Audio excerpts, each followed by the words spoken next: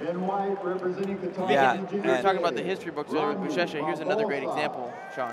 Uh, yeah, and and Bruno's going for his tenth in his weight, so so that's unprecedented. There is no one close to that. So, you know, imagine if Bruno was 250 pounds. Uh, we'd everyone would be in trouble. Yeah. Everyone.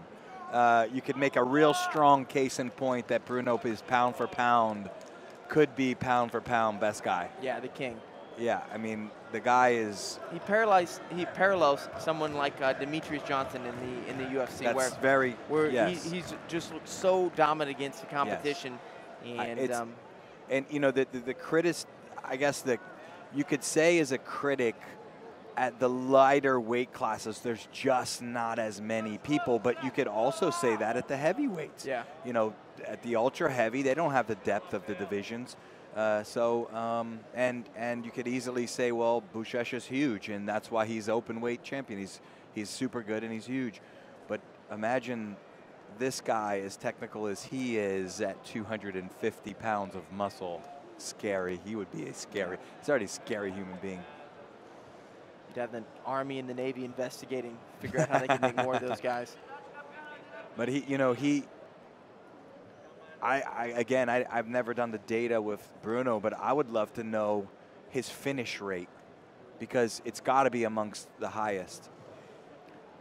Yeah, he's he, he's made short work of, of guys that Jaime that Canuto. Are Penal- everybody world else in the division is extremely Cornelius. competitive with each other, and Jaime and there's times Canuto. whenever no one is competitive. Yeah, he, he report to the main stands well above everyone except Caio Terra, and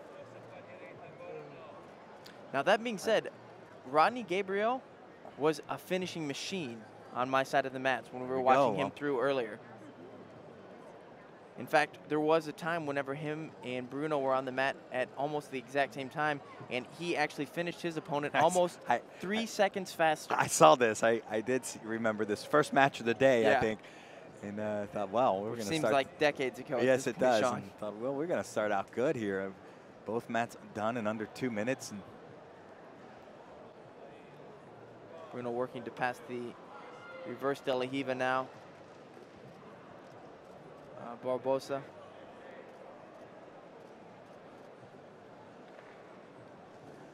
now I- I, guess I got to hold myself because how many does Leticia Ribeiro have in her weight?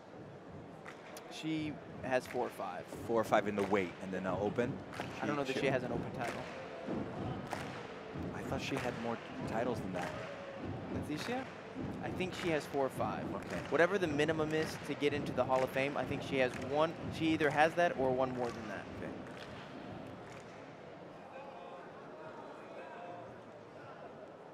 Are there any women that have eight? Michelle. Okay, well, there we go. In the women's division might be the, the equivalent, nearly. Men division, Bruno is far above everyone for weight class. Maybe maybe medals. Gabi Garcia as well. I'm not sure how many Gabi has, but you know Gabi was reckoning at two at a time there for a little while. Yeah, again, I'm talking just weight class. Oh, Weight just class weight, just weight class, just weight class. Gotcha. Nice. They are, when they come came on the top momentarily, and Bruno put him back down, but it's going to give uh, Barbosa an advantage.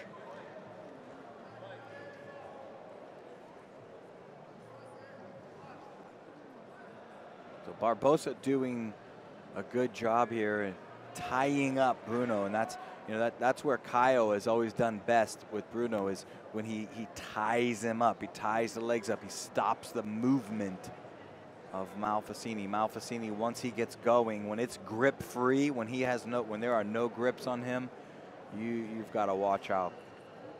So Barbosa doing an exceptional job of really tying up. He's got good grips here. He could pull Bruno forward, maybe even come up for double, and then Bruno breaks off that far grip the pant leg. And you can see the pressure that, that Bruno is putting on because you can see it in his face. Yep.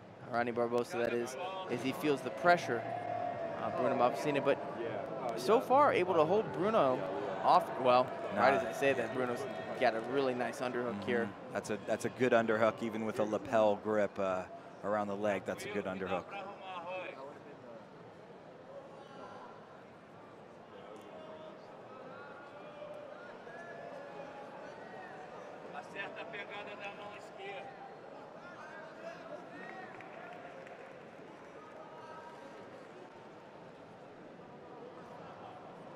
Bruno looking to cut that knee through, but that lapel fed between the legs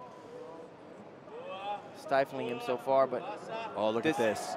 Ude gatame arm lock now. He's got it. Ooh, that's got he's got that. Yep. and he gets the tap. Just Talk like that. about a finisher, Sean. That finish rate you were just Yep. talking about. Ten, 10. times. Man, 10-time Yeah. world champion. And that's what's so impressive. It's not that he wins by an advantage. Or, you know, he, of course they have those, but but he's fin- he's a finisher. Him versus Ary Farias or um, Joao, Joao Miyao or Mikey Musumeci. I would love to see some of these matchups that we, we won't get to see with him in the Roosterweight division. He's essentially cleaned it out 10 times in a row now. yeah, yeah. I guess that's what you what that's what he, he you do, right? If